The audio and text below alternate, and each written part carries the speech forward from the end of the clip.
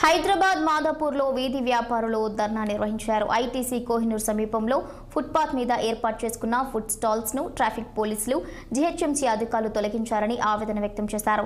తమకు న్యాయం చేయాలంటూ స్ట్రీట్ వెండర్స్ నిరసన వ్యక్తం చేశారు. గతంలో కుమారి ఆంటీ విషయంలో సీఎం రేవంత్ రెడ్డి అనుకూలంగా వ్యవహరించారని కానీ ఇప్పుడు అక్కడ ఉన్న కొన్ని సంస్థల అండతో అధికారులు తొలగించినట్లు వాపోయారు వీధి వ్యాపారులు. నేను మాదాపూర్ నివాసిని. మేము మాదాపూర్ ఐటీసీ కోయిలూరు వాళ్ళు మేము కాల్కామ్ కంపెనీ దగ్గర మా షెడ్లు వేసుకున్నాము ఒక పది ఏళ్ళ నుంచి మేము జీవనోపాధి చేస్తున్నాము. మాకు అప్పుడు ఉన్న గవర్నమెంట్ వేసి ఇచ్చింది మంచిగా బతికినాం అంతా బాగానే ఉంది.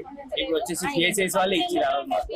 మేము ఇక్కడ వేసుకుని బతుకుతాం వచ్చి అక్కడ కుమార్ అంటే అనే ఆమె అక్కడ కుప్పని మేము పెట్టుకొని ఆమె రోడ్ అంతా జామ్ చేసినా కూడా పట్టించుకుంటాం మేము మేము ఇక్కడ ఎడారి ఇక్కడ ఒక కిలోమీటర్ కోరుకుంటాము. మేము ఒక సంవత్సరం పట్టింది దీని అంత ఉపాధి గట్టి చేసుకునికే. మేము ఒక నలభై లక్షల రూపాయలు అందరం పది పది వేల రూపాయలు వేసుకొని నలభై లక్షలు పెట్టి మేము దీన్ని దీన్ని రెడీ చేసుకున్నాము. ఇప్పుడు వచ్చి కూల కొట్టిరు కేసీఐసీలు వచ్చి కూల కొట్టిరు మధుసార్ అని చెప్పి మల్లారెడ్డి అని చెప్పేసి. సెకండ్ ఈ ట్రాఫిక్ ఇద్దరు సీఐలు ట్రాఫిక్ ముందు వచ్చి ల్యాండ్ ఆడడం రాలేదు. వీళ్ళు వచ్చి కూల కొట్టిరు ఇలా వీళ్ళు ఏం చేసిరు మేము హైకోర్టుకి వెళ్ళి స్టే తెచ్చుకున్నాం. హైకోర్టుకి వెళ్ళి స్టే తెచ్చుకుంటే స్టే చెల్లదంటున్నారు.